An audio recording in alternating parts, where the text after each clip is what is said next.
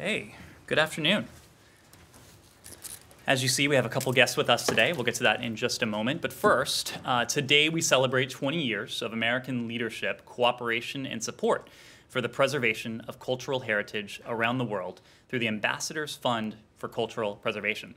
Since the fund launched on April 3, 2001, U.S. embassies have used this public diplomacy program to support disaster preparedness and response effort overseas, to spur economic development, to adapt to climate change, uh, and promote American values, such as respect for cultural diversity.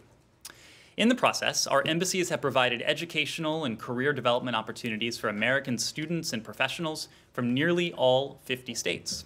For example, in 2019, a 6.4 magnitude earthquake hit Albania and damaged three ancient fortifications. With a grant of nearly $800,000, the Ambassadors Fund for Cultural Preservation is supporting the emergency stabilization of the structures, a, a conservation analysis for each fortification, and reconstruction of the damaged sections. In, Bos- in Bosnia and Herzegovina and other post conflict countries, embassies have incorporated the fund into the recovery and reconciliation efforts. In Rwanda, our embassy used the program to help preserve the memory and evidence of lives lost in 1994. And in northern Iraq, uh, our embassy has used the program to mitigate the effects of genocide by preserving cultural sites of terrorized communities. Through more than 1,000 projects thus far, the Ambassadors Fund continues to incorporate cultural preservation and protection into American diplomacy. Moving on to the release of the department's newly published report to Walk the Earth in Safety, which those of you in the room uh, have in front of you and which is also available on our website, www.state.gov. Uh, this annual report highlights the United States' enduring commitment to making post conflict communities safer and setting the stage for their recovery and development. I would like to introduce Acting Assistant Secretary Tim Betts from our Political Military Affairs Bureau, uh, who will first make brief remarks, along with Acting Principal Deputy Assistant Secretary Stan Brown, uh, who is then prepared to take your questions. So, uh, with that, Acting Assistant Secretary Betts, the floor is yours.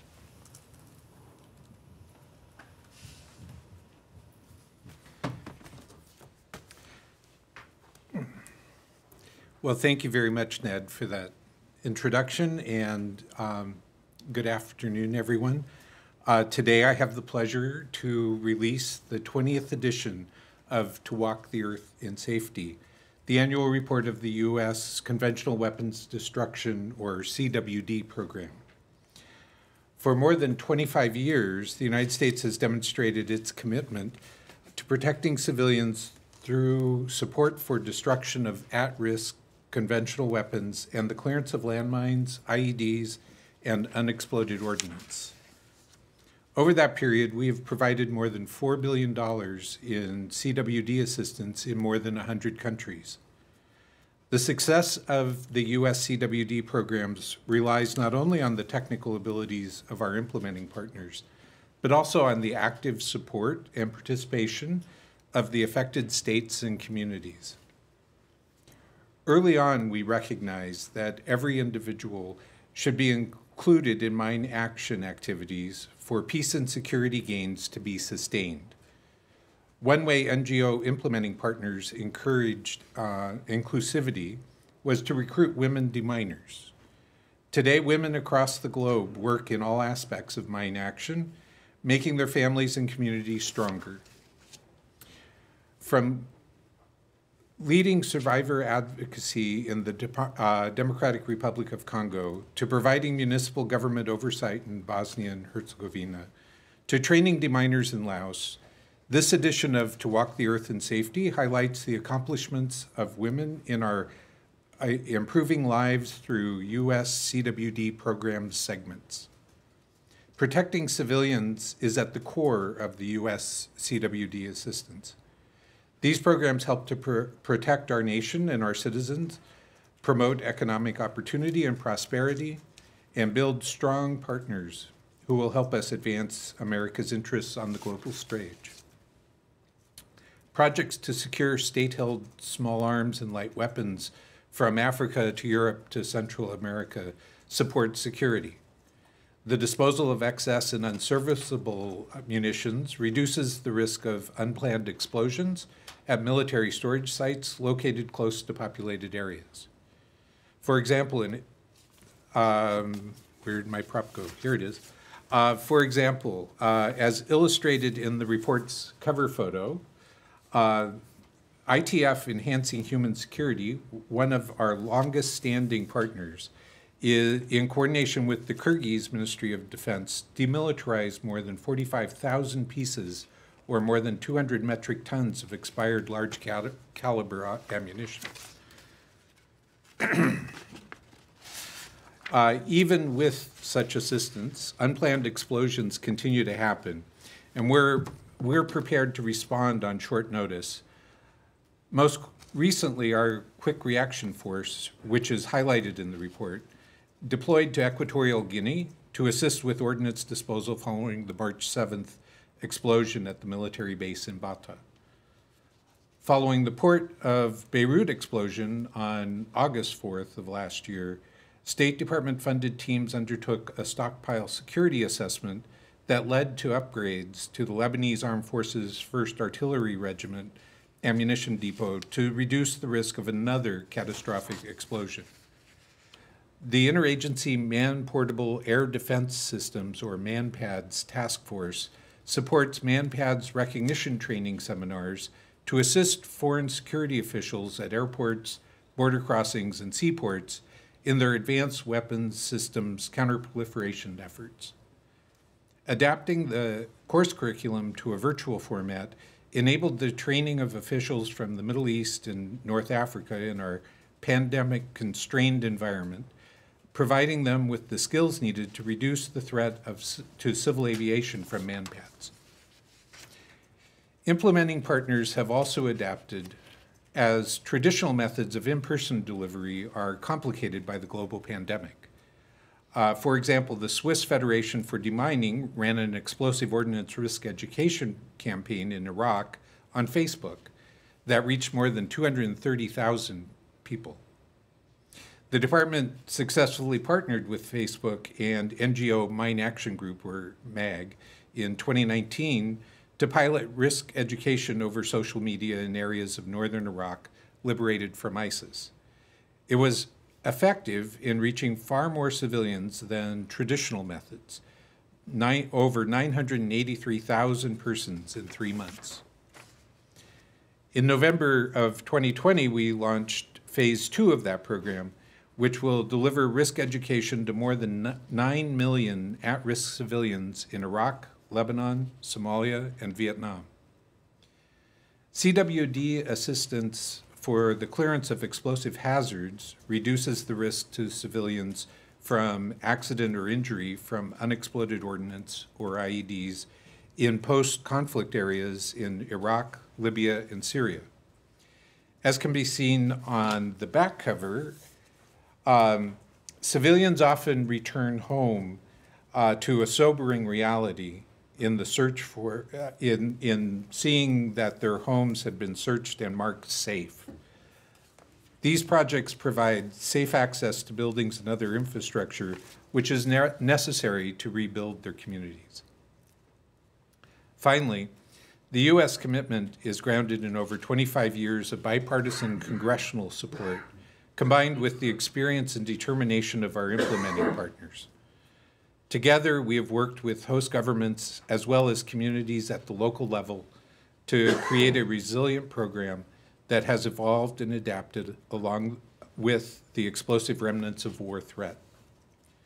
Our CWD program has been flexible enough to continue performing and producing tangible results despite the challenges presented by the COVID 19 pandemic.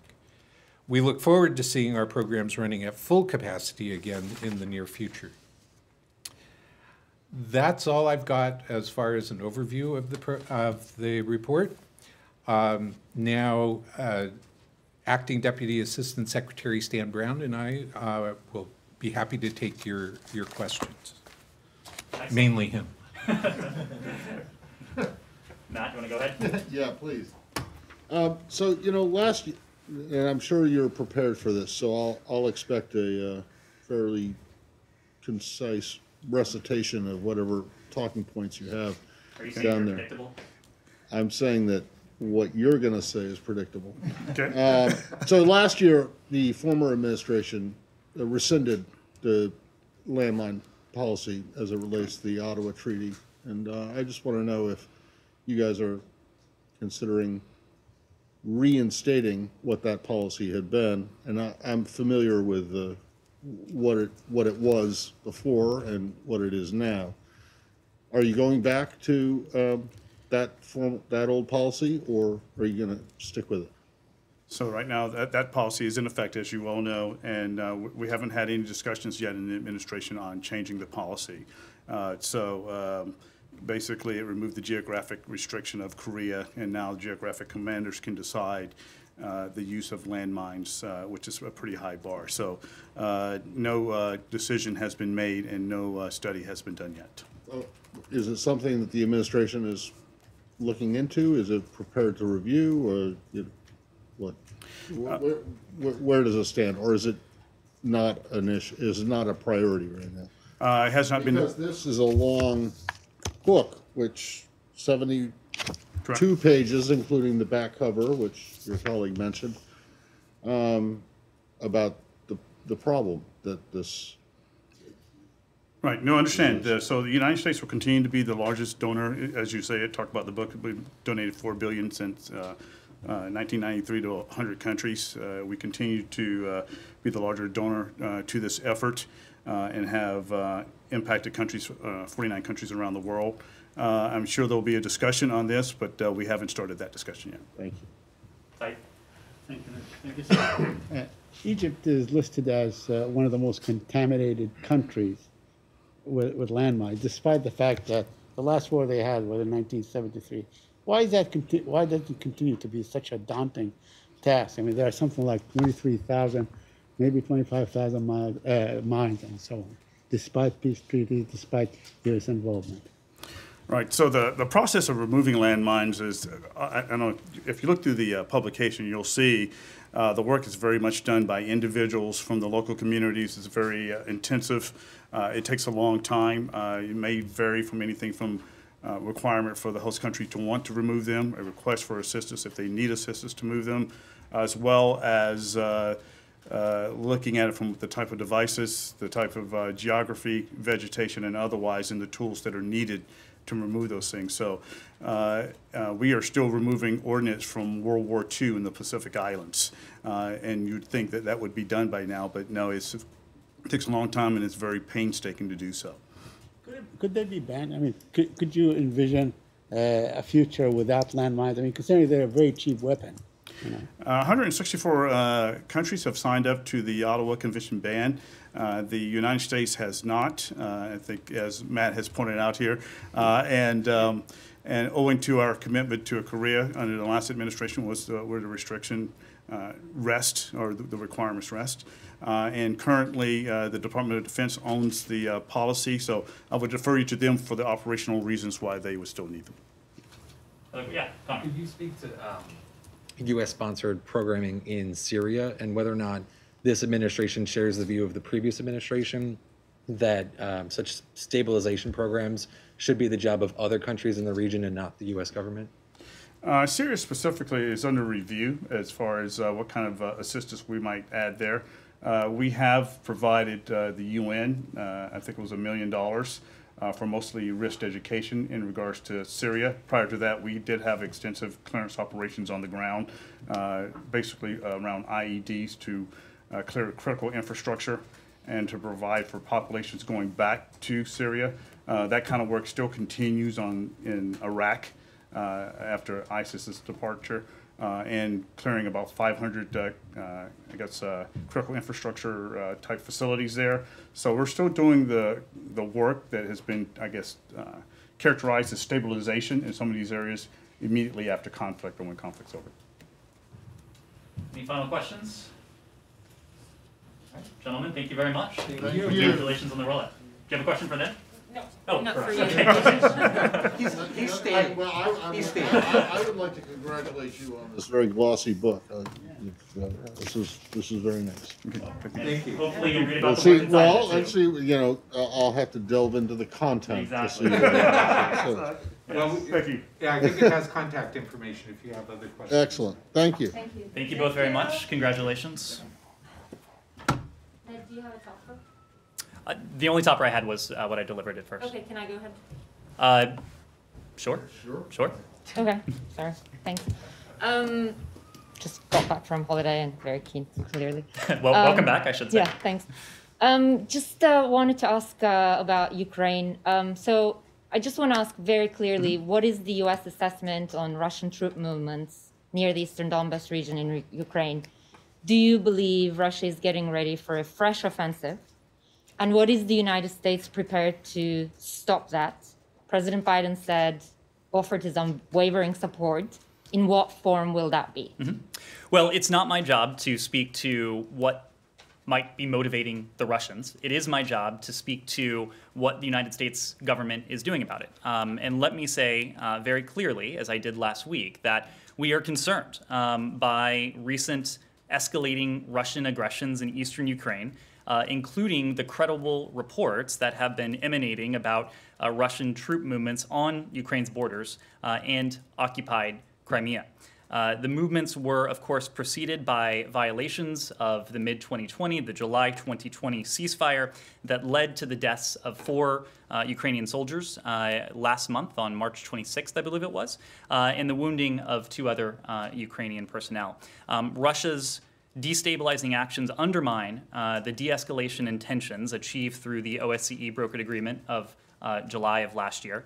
Uh, and in, in addition to our reassurances to Ukrainian officials, uh, we're discussing our concerns about this increase in tensions uh, in ceasefire violations uh, and regional tensions with NATO allies, of course. And uh, the other week in, in Brussels, this was a broad uh, topic of uh, discussions. We've asked Russia for uh, an explanation uh, of these provocations, uh, but most importantly, what we have signaled uh, directly with our Ukrainian partners is a message of reassurance. Uh, you saw that in the readout that President Biden had of his call uh, with President Zelensky of Ukraine. Of course, National Security Advisor Jake Sullivan uh, spoke with the head of the presidential office, Andrei Yermak, uh, last week as well. Secretary Blinken in this building uh, spoke uh, with Ukrainian Foreign Minister Kuleba, uh, and Secretary Austin spoke with Defense Minister Andrei Taran, and I believe uh, the chairman of the Joint Chiefs of Staff also uh, spoke with his uh, counterpart. So, at the highest levels of government, literally, um, across multiple institutions, we have sent uh, that message very clearly to our uh, Ukrainian counterparts uh, and implicitly um, to the Russians as well, that we stand by Kiev, we stand by our partner, uh, Ukraine, in the face of this intimidation and aggression. Can I ask, just follow up on that, can I just ask you once again, I mean, do you believe that this buildup on the Russian side of the border, on Russian territory, is a provocation in that you think it's some kind of buildup for an invasion?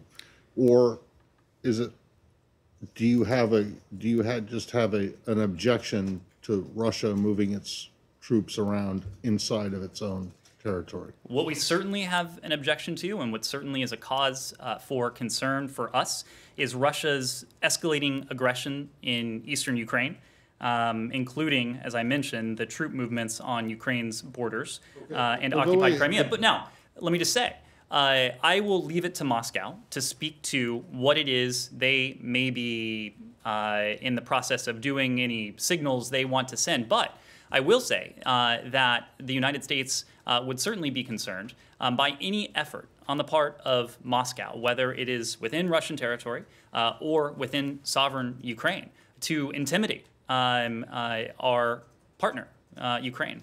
Okay. Fair enough. So you think, you believe that the troop movements, the Russian troop movements that are happening inside of Russia are an attempt to incre- intimidate Ukraine? I said we would be concerned I- by I'm asking you attempts on whether you think it- I- that the- it is or not. Th- th- this involves assessments uh, that are, um, uh, in many cases, going to be undergirded by non-public information. So I wouldn't want to speak from then- here. I, w- I wouldn't know. My, my point is, I wouldn't want to. you are speaking from here. No, I, no, I am speaking con- from here about our policy concerns. I, I, I okay, wouldn't want to speak from here about what it but- is that Russia may be attempting to do I or attempting to signal. I- I, will say that if the implication of this is uh, If- in, intimidation, if- if- yes, intimidation of our is it- Ukrainian partners. Is that, is that your assessment, that it is intimidation? Or is it, Or is it just a country moving troops inside of its own borders, which you do, which China does, which Kenya does, which Brazil does? I mean, I, I think I think you're throwing a lot of apples and oranges uh, t- together with this. I think no, I'm just, I'm just trying to find out I mean, if you think that Russia moving its own troops inside its own territory is intimidation towards Ukraine.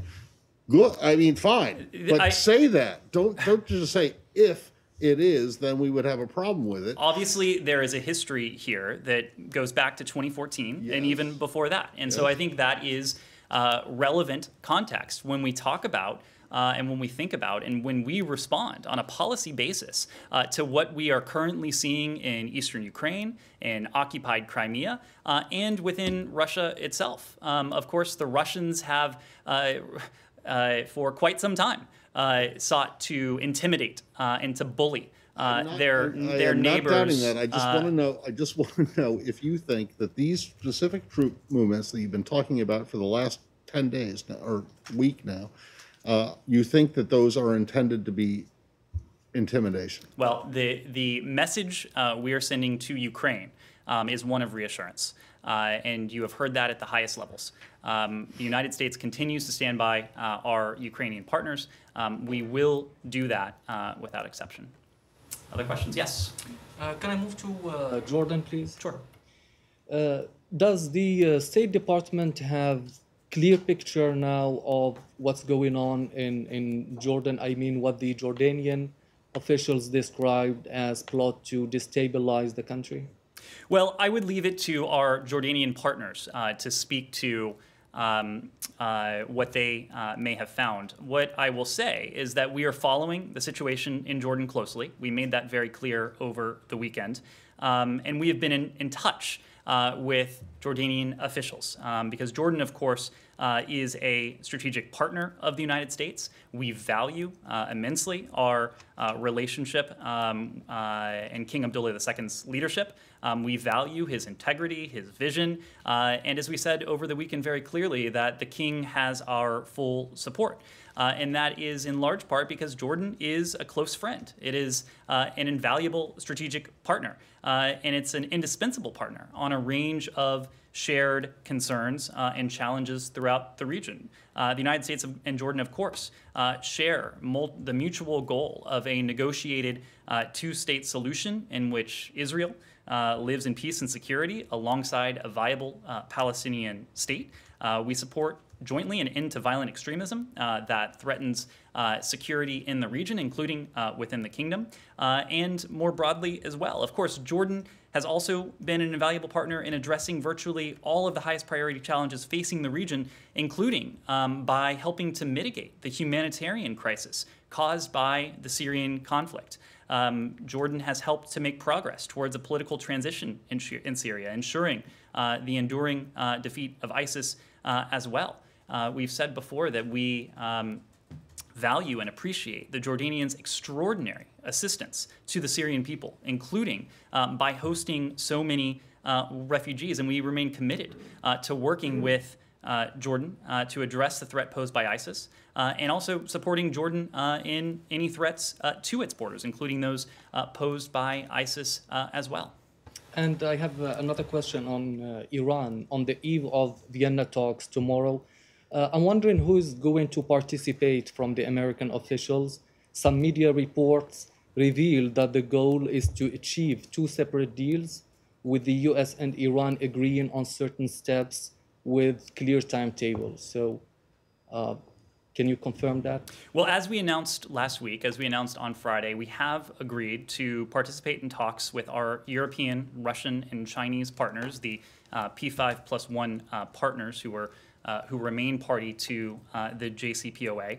Um, to discuss the issues involved in a mutual return to compliance uh, with the JCPOA. Mutual meaning on the part of Iran, uh, and on the part of the United States. Uh, that has long been the proposition on the table. I can confirm uh, that Special Envoy for Iran, Rob Malley, uh, will lead the U.S. delegation to Vienna. These talks uh, are scheduled to start uh, tomorrow. I would also hasten to add, as we did late last week, that we don't underestimate the scale of uh, the challenges ahead. These are early days. Uh, we don't anticipate an early or immediate breakthrough um, as these discussions we fully expect will be difficult. Um, but we do believe uh, that these discussions with our partners and in turn our partners uh, with uh, Iran is a healthy step step forward. Now you asked about uh, how these talks uh, will be structured and what they'll be predicated on. Um, they'll be structured around working groups uh, that are European, uh, that are that the EU um, is going to form uh, with the remaining uh, parties to the JCPOA, and that includes Iran. The primary issues to be discussed are actually quite simple. they're on the one hand the nuclear steps that Iran would need to take in order for Iran to return to that desired end state, and again, that is uh, an end state of compliance with the JCPOA, uh, and the sanctions relief steps uh, that the United States uh, would need to take in order for us to return to compliance uh, with the JCPOA. So, again, um, that is what we aspire. Uh, over the longer term to achieve that mutual return to compliance with the JCPOA. It's precisely what President Biden, then candidate Biden, uh, laid out on uh, the campaign trail. Now, um, we don't anticipate at present that there will be direct talks uh, with Iran, um, though, of course, we uh, remain open to them. Um, uh, and so we'll have to see uh, how things go starting I earlier have- this week. Yep. Yeah, I have uh, two quick uh, follow-ups on on on that. Uh, there was a Los Angeles uh, Times report quoting some Pentagon officials as saying that the tensions are so severe that it might not be possible to delay further without a deal restrict uh, a, a deal restricting the Iranian nuclear program, and they are warning of a confrontation in case there is no deal. And also, I have like uh, my question is how urgent does the U.S. government feel that it is necessary to reach a deal in the coming two months? And also, a Western official was quoted as saying that the aim during those talks is to reach an agreement within two months. Do you share this hope? Well, look, I'm, I'm not going to put uh, a time frame on it. Uh, we are conducting principled diplomacy. We're conducting that principled diplomacy in close coordination uh, with our European allies, uh, with whom uh, we discussed the broad challenge of Iran uh, the other week in Brussels. Uh, of course, we do have uh, some area of tactical alignment in this case with uh, China and Russia uh, as well. Um, so the diplomacy will meet, will move uh, at the speed um, that uh, um, we deem it appropriate to move at. Um, to your question about the urgency of this challenge, look, there's no denying um, that we are approaching this with urgency. And we are doing so because even in recent weeks, Iran has continued to take steps away from the JCPOA. And our concern with that is that over time, uh, Iran's uh, the so-called breakout time has continued to shrink. Just a reminder that at the end of the Obama administration, the Obama Biden administration, that breakout time uh, when the JCPOA was fully in effect was 12 months. That breakout time into the last administration, the Trump administration, was 12 months when the JCPOA was fully in effect.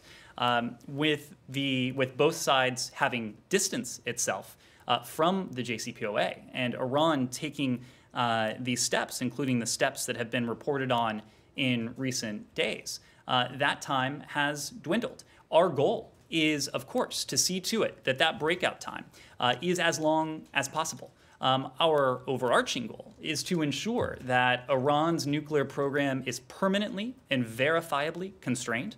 Uh, and that on a permanent and verifiable basis, Iran will not be able to obtain a nuclear weapon. That is not just our goal. Uh, that is the goal of our remaining partners in the P5 plus one. Uh, it is the goal of our uh, partners and allies uh, in the region, and it's certainly a goal that has broad support uh, within Congress as well. So um, we are not seeking to drag these talks on any longer than necessary, um, but we're also not going to cut corners, um, given that, uh, given the profound stakes that are at play here. Said. And hold on a second, just on this. Your remaining partners in the P five plus one? You guys are, The, No. the participants in the P5 plus one and the Yeah, well, JCPOA. you- You have no partners. in We the- well, in- we are technically we are a we're still in the P5s. Let's not, let's not, uh, Well, y- yes, but not in the deal. So uh, can you say, though, that you're not prepared to lift any sanctions uh, or ease any sanctions that are non-nuclear rela- related? Well, I can As be- part of this, I, I because can, there are plenty of sanctions, as you Right. know, there are plenty of sanctions that are non-nuclear related, that, that are not contingent on, uh, on the deal. Right.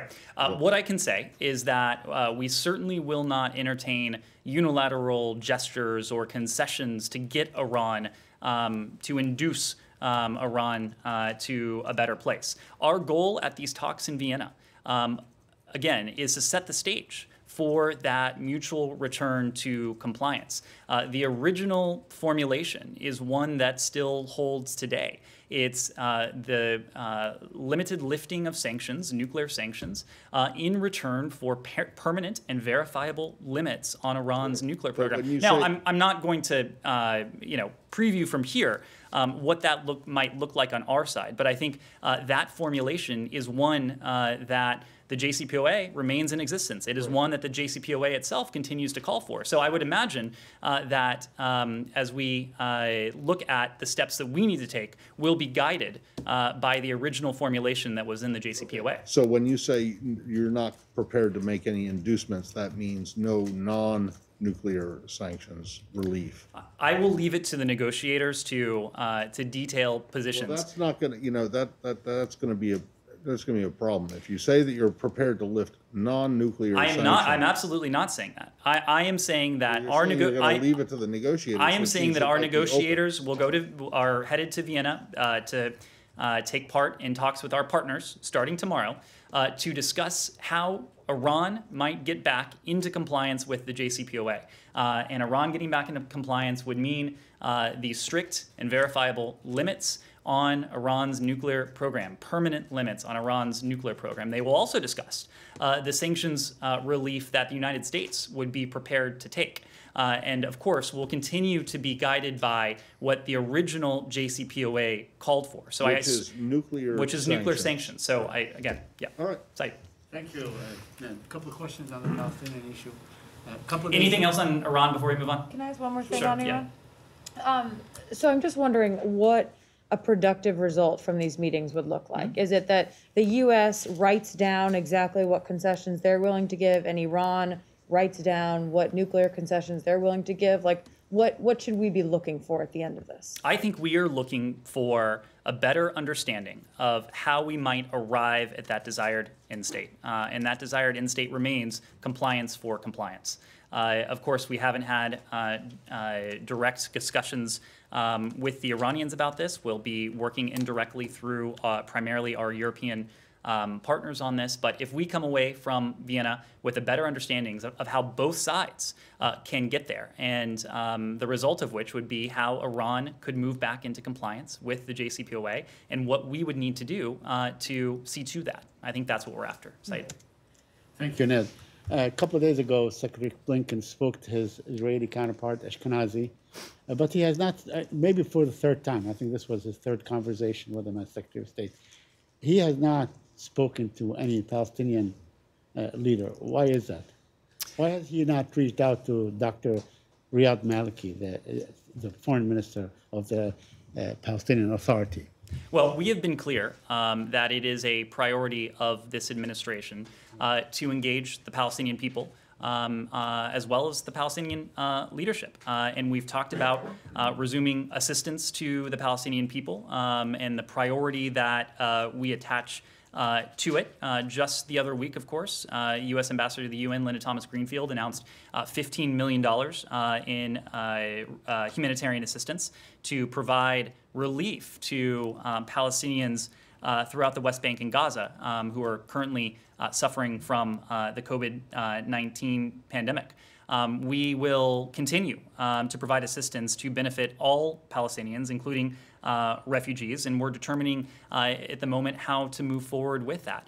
um, look, I, I would fully expect that uh, there will continue to be engagement with um, the Palestinian people um, and, and Palestinian leaders as well. Engaging with any Palestinians? I mean, what, what level of engagement do you have right now? Yeah, I, I, we typically don't read out conversations uh, at the working level, but um, certainly uh, we are prepared to um, uh, continue to engage uh, the Palestinians, including Palestinian uh, government officials, um, on ways we can provide uh, assistance to the Palestinian people. So during the campaign, there were unambiguous statements by, uh, the, by you know the candidate Joe Biden then about you know resuming aid to UNRWA and so on. We have not heard anything since the administration has assumed office. Since That- well, that's Joe not Bi- true. That's not true. Of course, you heard from. on UNRWA. On UNRWA, I know that there's been aid for to combat to combat to combat uh, COVID. Mm-hmm. There's probably been an increase in aid to the PA, but on UNRWA, there has not been any clear. It is certainly true. It remains true today that uh, we intend to provide assistance that will benefit all Palestinians. We spoke, uh, Ambassador Thomas Greenfield spoke to that uh, the other week, um, and that includes, of course, refugees. Um, we're, we're in the process. You keep saying refugees, we, we, we are we are in the process of determining uh, how exactly we'll move forward um, on providing that assistance. Of course, uh, at all times consistent with with U.S. law. Will you resume aid to UNRWA? Uh, we are we are uh, uh, looking at the ways we can provide assistance to Palestinians, including Palestinian refugees. Can I ask three questions? They're yes or no, very easy on this These are issue. yes no questions are usually Yes. not the easy ones. Oh, yeah, oh, they are. Uh, you said, you said that you're not going to move the embassy out of Jerusalem, but uh, does this administration still regard Jerusalem as Israel's capital? And do you still believe that uh, a two-state solution would result in uh, Palestinians having a capital in East Jerusalem?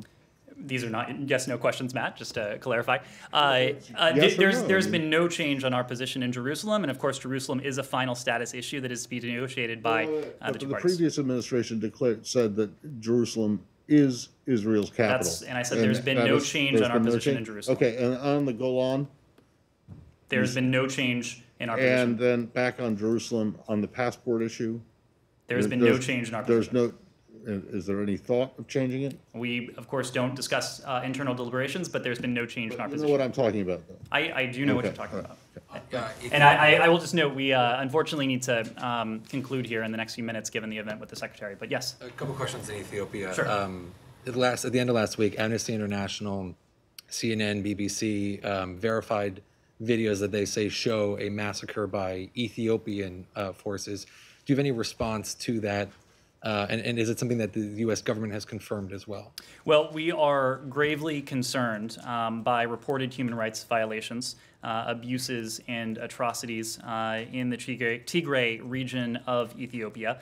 Um, we strongly condemn uh, the killings, the forced removals, uh, the sexual assaults, the other human rights abuses uh, that multiple organizations have reported. But any any word on whether or not you believe Ethiopian forces have conducted these particular massacres? We've, we are, of course, looking into uh, these reports. Um, we have taken close note of them, um, and, uh, and will continue to uh, uh, pay close attention. And then um, on Saturday, the Ethiopian Foreign Ministry said that Eritrean forces have begun to leave the country. Is that something that you've been able to verify as well? Well, we have taken note of uh, the uh, what we heard from uh, Ethiopian uh, authorities. Um, we are encouraged by the Prime Minister's announcement uh, that the government of uh, the state of Eritrea has agreed to withdraw its forces from Ethiopia. Uh, the immediate and complete withdrawal of Eritrean troops from Tigray uh, will be an important step forward in de escalating the conflict uh, and restoring peace and regional stability. But you haven't seen whether or not they've started that process. We've, we, we've encouraged by that report. We'll be ca- paying close attention, of course. Just one other quick question on um, the special envoy for the Northern Triangle's visit. Mm-hmm. He's traveling to Guatemala and El Salvador, but to, not to Honduras. Mm-hmm. Um, and so far, at least, Vice, Vice President Harris hasn't called um, President Juan Orlando. Hernandez of Honduras as well. Are you trying to isolate or send some sort of message to his government, given the allegations against him by U.S. federal prosecutors? I fully expect that uh, we will uh, be engaging with appropriate uh, Honduran uh, government officials, um, including upon their return. Uh, there will be a meeting, I expect, with the Honduran foreign minister um, who will be visiting the United States um, upon their return. Um, as we've said before, we are deeply concerned uh, about the challenges that the people of Honduras are facing right now. Uh, the effects of COVID 19, compounded by the impacts of not one but two hurricanes. Uh, it's led to a 15% economic contraction as well as food insecurity. Uh, we continue to stand with the Honduran people as they uh, confront uh, these challenges. We will continue to stand uh, with the Honduran people uh, and civil society and those members of the Honduran government that are committed to fighting corruption with us um, because we know that our goal has to be to address these root causes, uh, these root drivers of migration if we're going to find uh, a long term solution to this challenge. President Hernandez present one of those challenges? Hearing a lot of things coming at me. Does, does President Hernandez present one of those challenges? Uh, I will say that um, uh, corruption uh, continues to be um, uh, a, uh, a challenge when it comes to uh, our relationship with Honduras. We are committed to partnering with the Honduras, Honduran people, with elements of Honduran civil society, and with those in the Honduran government that are committed to working with us to root out the corruption that has become really endemic to that country. Yes. Yeah, um, my question is regarding El Salvador too. Uh, President Bukele announced uh, a couple of hours ago uh, a series of donations that will receive from the Chinese government, and on the other hand, in uh, recent days we have seen evident distancing of the Salvadoran government with the Biden administration. We even saw uh, President Bukele insult and attack uh, Congresswoman Norma, Norma Torres, and he also asked Latino community to not vote for her in California what is the position of the Biden's administration regarding this relationship between El Salvador and China and China and um, China's approach with the Northern Triangle region uh, represent any concerns uh, uh, for you? And um, the other question is uh, regarding the uh, combat to the root causes of immigration. Um, President Bukele said that he will uh, veto a law that was approved uh, last week for the National Assembly to punish all the smugglers in, in Central America. So what, what's, what's the position? To, to punish all of the, I'm sorry, I didn't hear. the traffickers and Traffic. coyotes, yeah, in Central America. Uh, well, Secretary Blinken spoke to um, this broad challenge the other week in his remarks from Brussels. Uh, and he said at the time uh, that it would not be the policy of the United States uh, to force our partners to choose between the United States and China. Uh, we will offer a partnership um, that works uh, in our interests and also uh, that works uh, towards the interests of our partners, including uh, our partners in uh, our own hemisphere, the Western Hemisphere. When it comes to El Salvador, we enjoy a strong relation. Relationship with El Salvador and its people. Um, we'll continue to work closely with our Salvadoran partners to address the challenges we've talked about in this um, uh, in, in this broader realm. Uh, that includes irregular migration, it includes corruption, it includes impunity, governance, respect for human rights, economic opportunity, uh, and security uh, as well. Uh, we'll also focus on preserving uh, democratic standards, and we look forward to President Bukele uh, to restore strong separation of powers uh, where they've been eroded and to demonstrate his government's uh, commitment to transparency and accountability to the people of El Salvador. Um, we'll continue to emphasize uh, that to political leaders the importance of appropriate democratic institutions as we partner with them. Uh, and of course, we'll also engage with civil society groups and to promote freedom of expression and independent, independent media uh, and the protection of uh, journalists. Our goal in all of this is to create the conditions uh, where the people of El, Sal- El Salvador uh, can live healthy, uh, successful lives and, and to thrive. Um, we value this relationship, we value this partnership. It's a partnership uh, that is not only in the interests of uh, the people of El Salvador, but it's also in the interests of the American people. I'm sorry we have to um, cut this short, but ahead of the 2 p.m. coronavirus conference, do you have an estimate on how many uh, State Department staff globally, including local staff, have been vaccinated? I don't have that number in front of me. What I can say is that we will soon have an update um, on our um, efforts to provide the vaccine to um, embassies uh, and missions worldwide. Um, I think uh, we have made uh, tremendous progress. As you know, uh, some uh, 80% of our vaccine supply has been sent uh, to missions and to embassies uh, around the world. Um, and I think within weeks, um, we will be in a position to say uh, that all of our um, uh, officials around the world uh, have received access to the vaccine. Last one, uh, on Yemen. Can we get back here? On Iran, um, how long do you? the Oh, sorry, we, uh, we haven't gotten to the back. Um, Following the Human Rights Report detailing egregious abuses in China, do you think that American companies should reevaluate their participation in the Olympics next year in a sponsorship role? Well, look, um, I will. Uh, the the Human Rights Report was uh, quite strong um, when it came to what we are seeing uh, in China, what we have seen in China. Um, it, of course, called uh, what has transpired, what is transpiring in Xinjiang uh, genocide.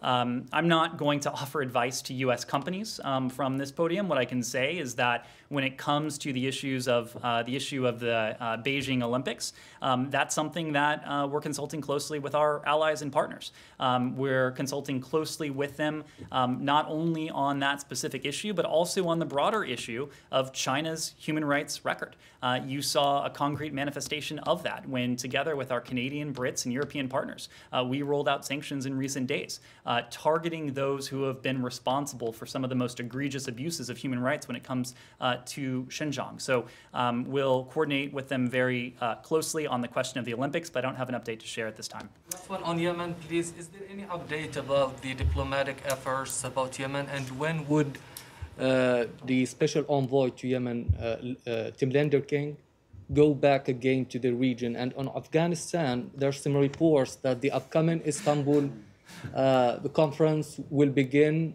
uh, April uh, April 16 and would last 10 days. Do you confirm the date? I, I'm, I, I. I'm not in a position to confirm anything about uh, an upcoming uh, conference in, in Turkey uh, vis-a-vis Afghanistan. Uh, very quickly and finally uh, on Yemen, uh, we released a statement uh, last week to note that Special Envoy Lenderking uh, returned on March uh, 31st, late last week, uh, from his travel to Saudi Arabia and Oman. Uh, he held productive meetings with Omani, Saudi, and Yemeni senior leaders uh, in coordination with uh, U.S. Special Envoy for Yemen, uh, Martin Griffiths. Um, Special Envoy Lenderking and the uh, UN uh, Special Envoy continue uh, to work side by side uh, to help bring about a ceasefire inclusive uh, political talks, as well as a durable agreement that addresses uh, the needs of uh, all Yemenis. They also discussed the dire humanitarian needs for the people of Yemen. Uh, to that end, we, and I said this uh, the other week, we welcomed uh, the Saudis' announcement last week to provide uh, more than $400 million, I believe it was $422 million, uh, in support for fuel products in Yemen. That, of course, is um, uh, in addition to what we announced um, uh, uh, in the not too distant past um, regarding our own uh, uh, support to the people of Yemen as well. Thank you all very much. We have to rush up to get to the secretary, but we'll do this again tomorrow, of course. Thank you. Thank you.